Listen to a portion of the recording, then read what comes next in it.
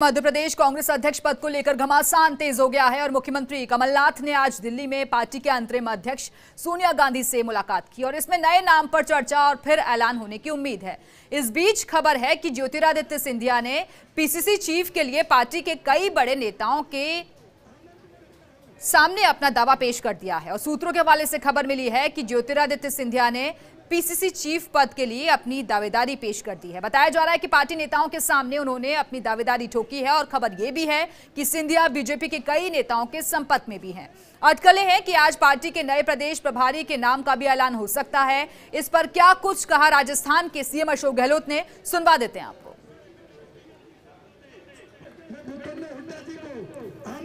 तो ज्योतिरादित्य सिंधिया ने ठोका है अध्यक्ष पद के लिए दावा और इसी को लेकर अब घमासान भी तेज हो गया है पार्टी में। कमलनाथ ने मुलाकात की है सोनिया गांधी से और जिसको लेकर माना जा रहा है कि जल्द ही तस्वीर भी साफ़ हो सकती है। हालाँकि मुख्यमंत्री अशोक गहलोत जब पीसीसी दफ्तर पर पहुँचे तो वहाँ पर भी मीडिया ने उनसे कई सवाल किए और इस पर क्या कुछ कहा गया? राजस्थान के सीएम अशोक गहलोत की तरफ़ से वो भी आगे आपको सुनवाएँगे। लेकिन खबरें इस तरीके के सामने आ रही हैं कि सिंधिया बीजेपी के कई नेताओं के संपर्क में हैं और इसी वजह से पार्टी में और ज़्यादा खलबली भी मच गई है।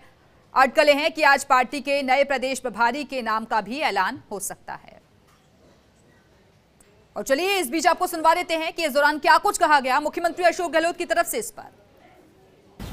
ये मुझे इसकी जानकारी नहीं है, और ये हाईकमांड का काम है कि राज्यों में वो क्या फैसले करते हैं।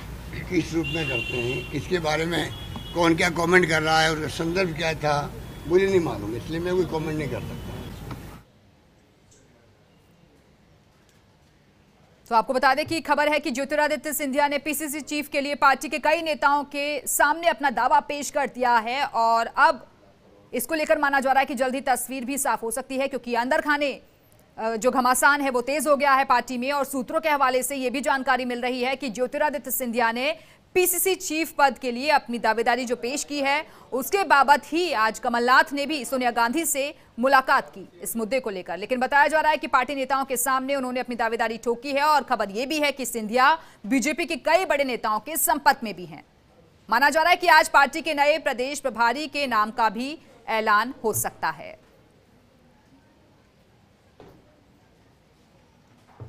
तो मध्य प्रदेश कांग्रेस में फ़िलहाल घमासान तेज नज़र आ रहा है और इसी वजह से पार्टी के अंतरिम अध्यक्ष सोनिया गांधी से मुलाकात की है आज मुख्यमंत्री कमलनाथ ने। और इसमें नए नाम पर चर्चा और फिर जो ऐलान है उन्हें की उम्मीद ज़ाहिर की जा रही है। इस बीच खबर यह भी है कि ज्योतिरादित्य सिंधिया ने पीसीसी चीफ के लिए पार्टी के कई नेताओं के सामने अपना दावा पेश कर दिया है क्योंकि नाराज़गी ज़ाहिर कर दी है। ज्योतिरादित्य सिंधिया ने और इसी वजह से अब कई नाम ऐसे हैं जिनकी सुखबुकाहट जो है वो तेज हो गई है। सूत्रों के हवाले से खबर मिल रही है कि ज्योतिरादित्य सिंधिया ने पीसीसी चीफ पद के लिए अपनी दावेदारी पेश की है और पार्टी नेताओं के सामने उन्होंने अपनी दावेदारी ठोकी है। हालाँकि कई तरीके की सफ़ाई जो है पार्टी के बड़े नेताओं की तरफ़ से सामने आई है कि ऐसी कोई बात नहीं है, पार्टी में सब कुछ ठीक ठाक है। लेकिन आपको बता दें कि जब मध्य प्रदेश में चुनाव हुए थे, उस दौरान भी मुख्यमंत्री का चेहरा कौन होगा, इसको लेकर भी ज्योतिरादित्य सिंधिया का नाम सामने आ रहा था। हालाँकि इस बीच पार्टी को पूरी तरीके से संभालते हुए कमलनाथ को यह ज़िम्मेदारी सौंपी गई, लेकिन अब अध्यक्ष पद के लिए उन्होंने दावा ठोक दिया है और इसी वजह से अपनी नाराज़गी भी ज़ाहिर कर दी है। माना जा रहा है कि कई बीजेपी नेताओं के वो संपर्क में भी हैं और अटकलें हैं कि आज पार्टी के नए प्रदेश प्रभारी के नाम का ऐलान हो सकता है।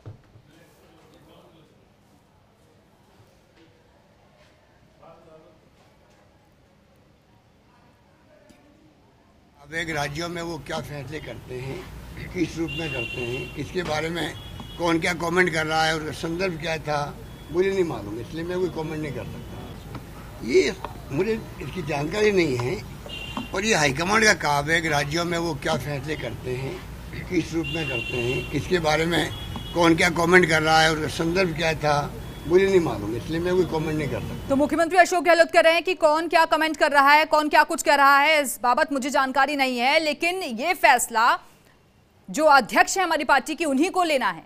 लेकिन घमासान तेज हो गया है और आखिरकार माना जा रहा है कि आज तस्वीर इसको लेकर साफ़ हो सकती है।